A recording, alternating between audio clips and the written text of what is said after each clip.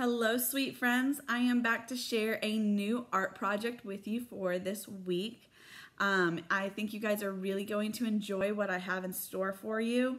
It is a little bit more challenging than what we did last week, but I have no doubt that you guys are going to be able to do this project and succeed and make it your own in so many awesome fun ways.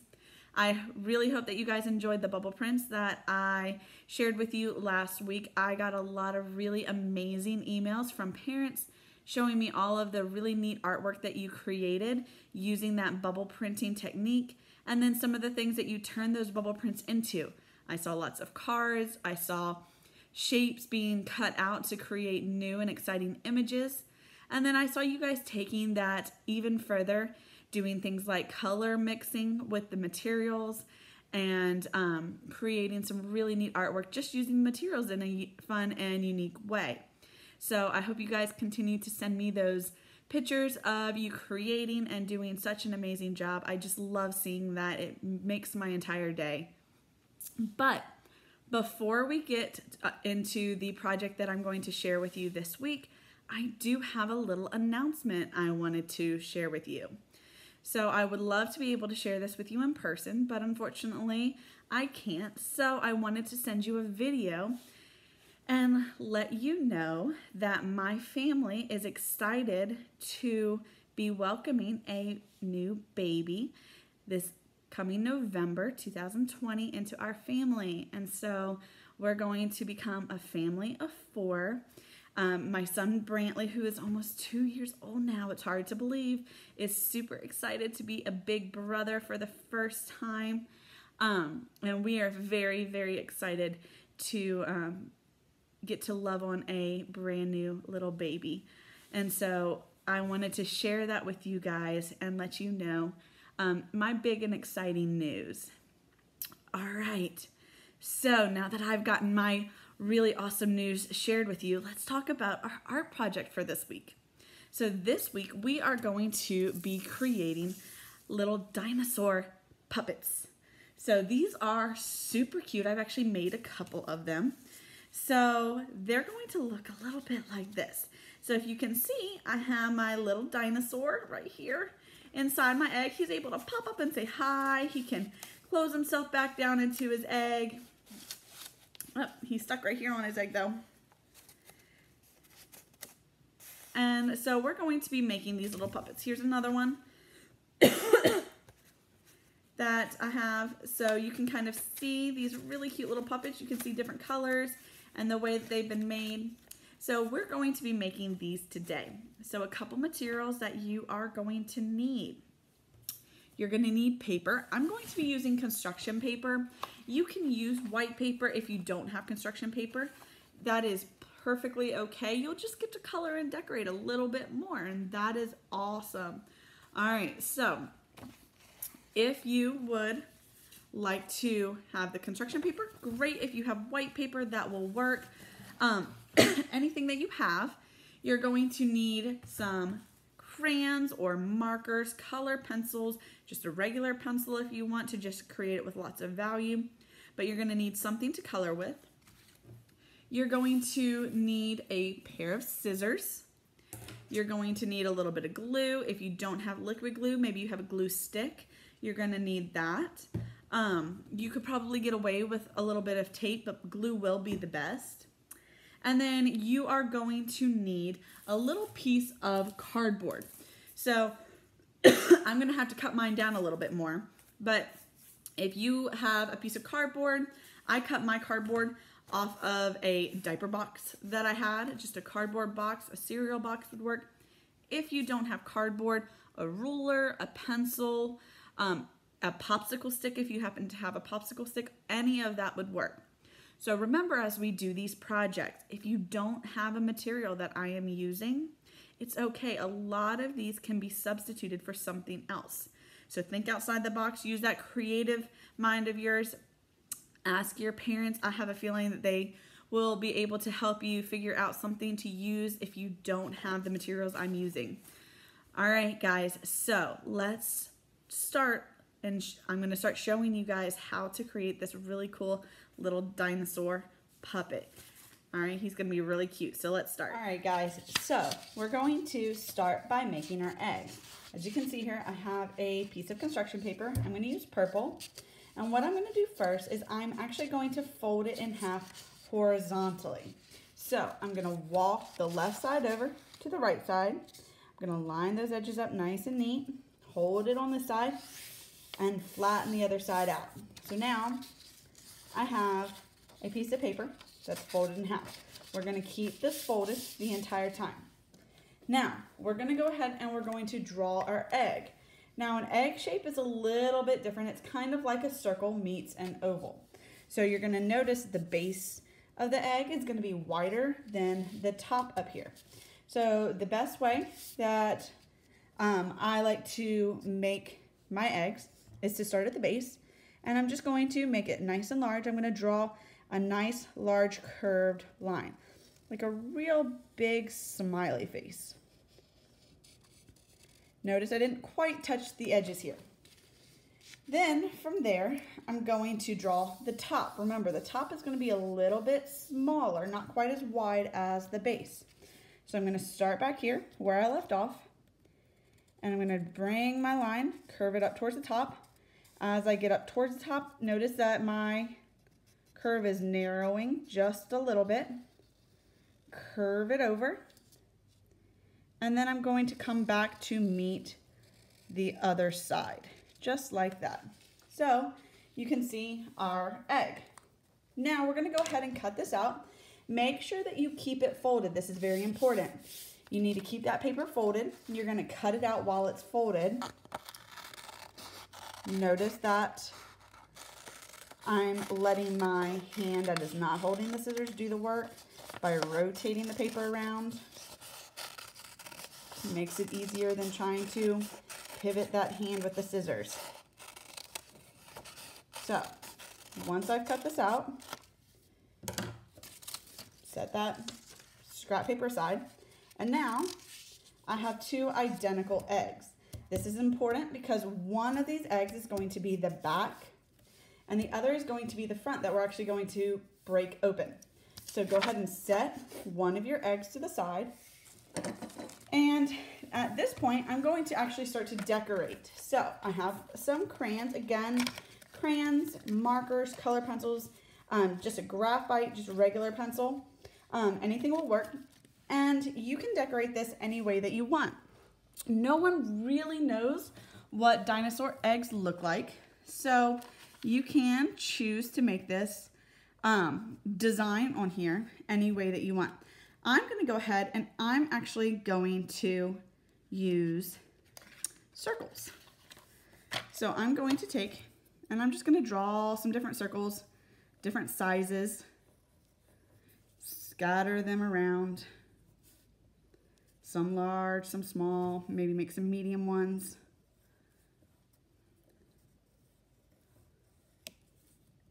We're going to do this until we have the design that we want.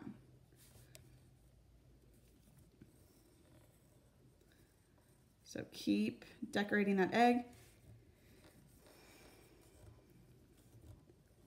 Notice that I'm covering the whole thing with my design instead of just drawing one tiny little thing in the center. Really balance our artwork out by allowing a variety of sizes. You could use multiple colors if you wanted. Um, again, any way that you want your egg to work, to look. If you don't want to do circles, try something else. This is up to you. You are the artist. All right, so I have my design. Now, I want my egg to look a little bit more three-dimensional. Right now it's very flat. So to make this look a little bit more three-dimensional, I'm going to add a little value. Remember, value is the, um, the way that a color changes from light to dark. And to, in order to make this look a little bit more rounded like an actual egg, we would add a shadow on one side. So the light hits over here and then we would have a shadow. So I'm going to choose a color similar to the color of my paper, so a purple. And I'm going to start by creating almost like a little C around the edge. So notice I didn't come all the way over. I stopped right up here at the top. And again, I'm gonna stop down here at the bottom. It's going to be darkest right here along the edge. So notice I'm going back and I'm coloring a little bit more. And then I'm gonna lift the pressure that I'm adding to my crayon a little bit, and that's going to help us make a lighter value. So notice that color gets a little lighter. The less pressure I have on that crayon, the lighter the color is, and the better my value gets. Again, notice I'm only coloring on one side. I stopped at the top and the bottom. Um, that way, I don't make it look like I'm just outlining the egg. I really want it to look like there's a shadow falling on it. Now, if you were using just a white piece of paper, this would be a great time for you to go ahead and just color. All right, so mine was already purple. I added some blue spots and now I'm adding that purple value. If yours was white, this would be a great time to color the background, maybe color your spots, however you want to make yours look. All right, so if you look at it now, it looks a little more three-dimensional. We've added some value around the edges. We've added the, um, the details. The next thing we wanna do is crack our egg open. So to do that, we're going to come up towards the top. You can come towards the middle. I wouldn't go too low on this, middle or towards the top and we're gonna add a zigzag line.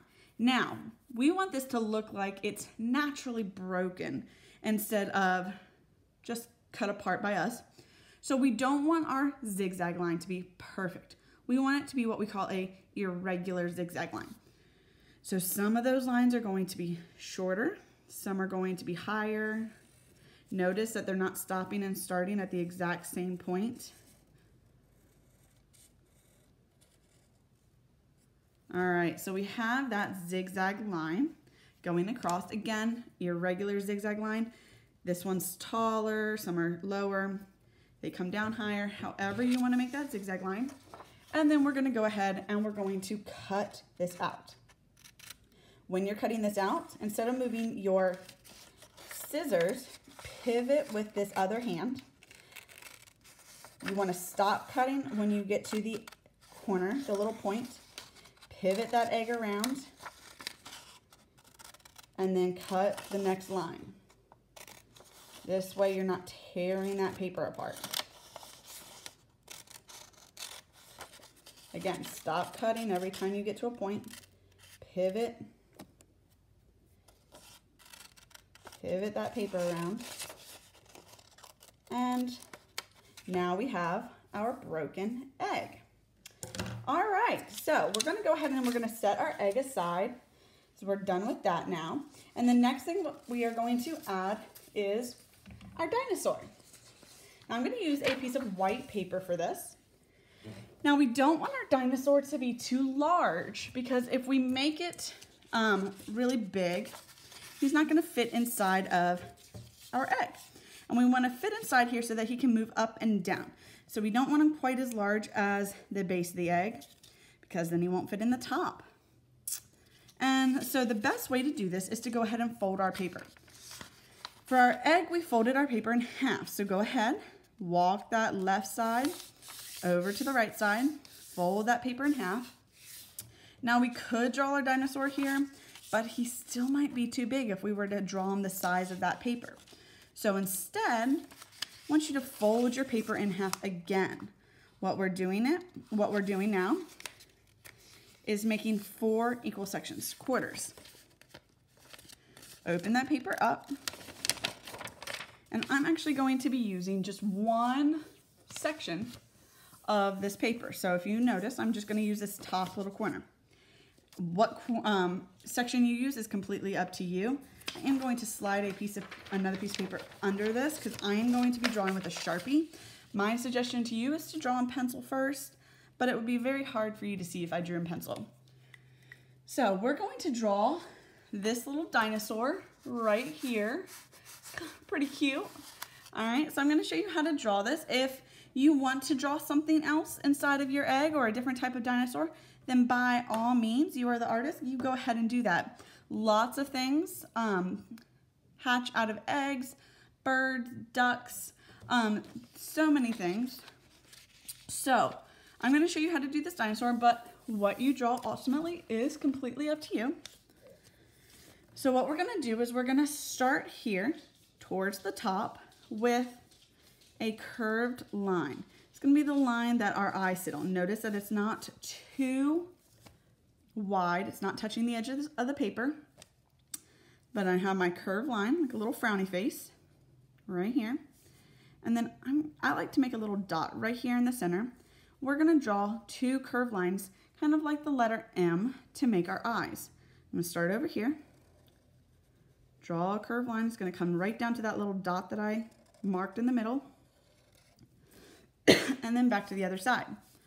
Now we're gonna go ahead and we're gonna add our pupils.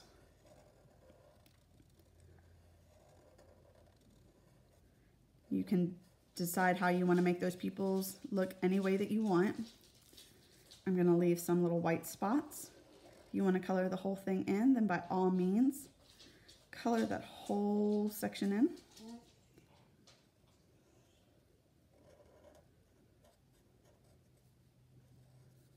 All right, so we have our eyes.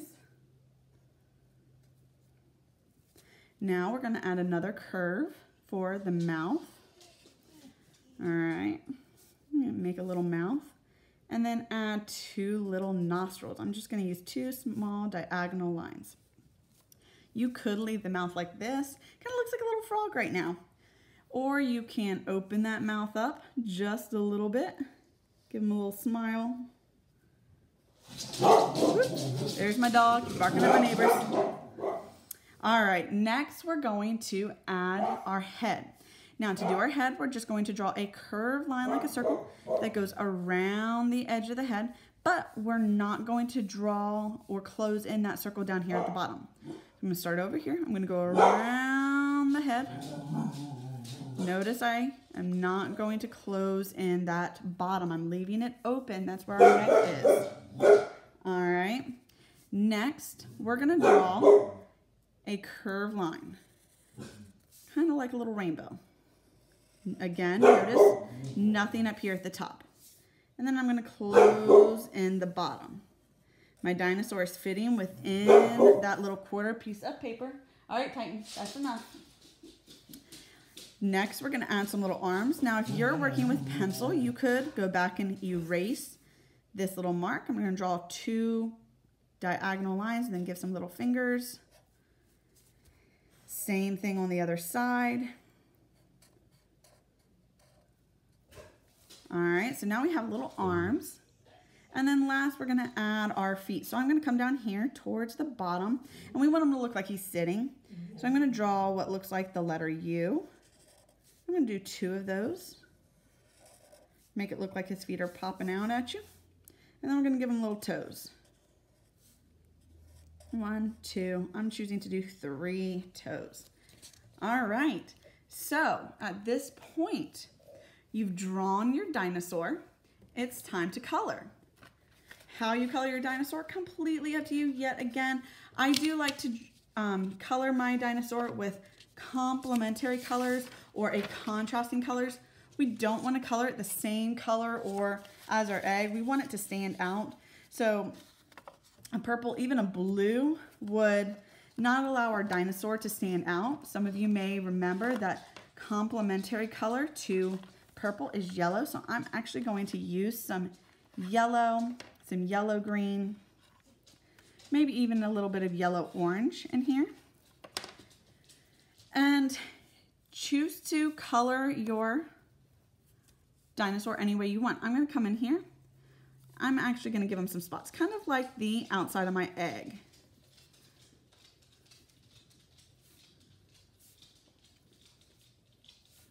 So get creative with this part.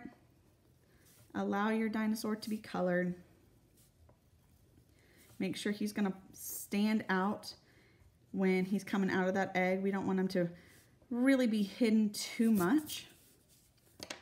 Come back in here. I'm going to color in the spots with a little yellow orange. Just so they kind of stand out a little bit.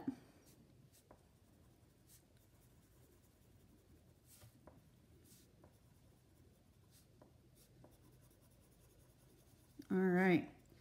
Once I've got my spots colored, I'm going to start to color the rest of my dinosaur. I'm, again, want to not color everything the same, so I'm going to make him have little orange feet. That way the feet don't blend in with the rest of his body. I'm going to color his body yellow. That yellow, green, and yellow don't quite stand out too much from each other, but since I colored the inside of those spots orange, I still have plenty of little spots.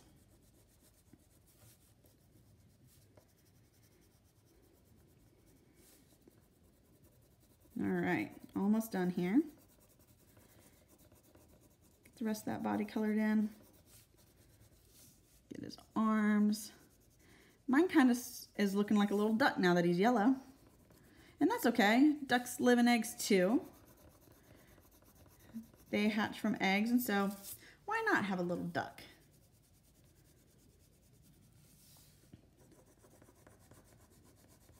All right, couple things left. I'm going to color the inside of that mouth. I'm just going to color it black.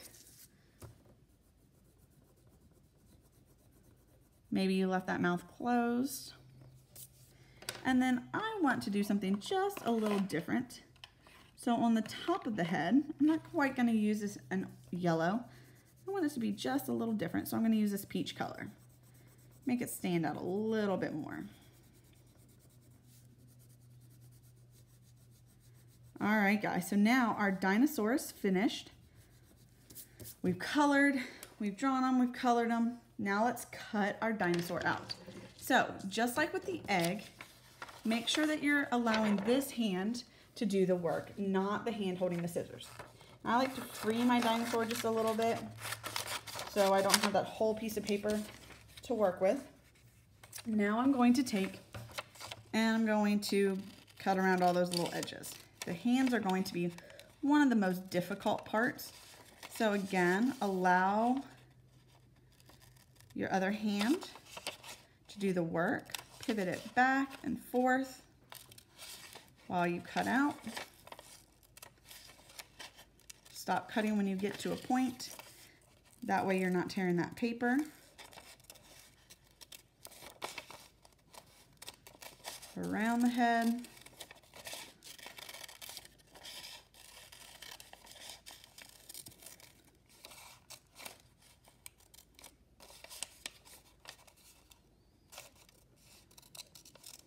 Cut that little piece makes it a little easier. Again, those hands can be the most difficult part if you did like I did and made them with little zigzags. Almost done. Get the bottom there. And our dinosaur is all cut out. Little baby dinosaur. All right, now it is time to start assembling. So I'm going to set my dinosaur aside. I'm gonna bring my pieces of the egg back and now it's time that I'm going to be using the glue. Now, it's very important that you listen to where we're going to apply the glue. So I'm gonna take my egg that's broken that I decorated, I'm gonna flip it over. And what I'm gonna do is I'm going to use the glue and I'm only gonna glue on the edge because remember, we are going to have our puppet who's coming in and out and we have this piece of cardboard down here. So if we glued in the center here, that little cardboard piece wouldn't be able to stick through the egg. So we only want to add glue on the edges. Remember my little saying, dot, dot, not a lot. Notice I'm using very small little dots right along the edge here. Okay, stop there. Come back up here. Add a few very, very tiny little dots. Stop there, leave that whole center open. And then we're gonna flip it over, match it up really nice and neatly with our egg that we did not color or decorate or cut. Massage that glue in. All right, we should have the bottom of it. Should be left open, no glue there. And then we're gonna set that aside. All right, now is the time that you need to grab your little piece of cardboard and we're going to glue the piece of cardboard, pencil, ruler, whatever it is that you have onto our dinosaur. So I'm going to determine where I want that. I'm going to put them about halfway, the cardboard about halfway up my dinosaur's back. I'm going to come in here. Again, just a little bit of glue goes a long way. Dot, dot, not a lot. Put that dinosaur down. Massage that glue on. Okay, that's going to kind of spread it out. Now our dinosaur stuck in here.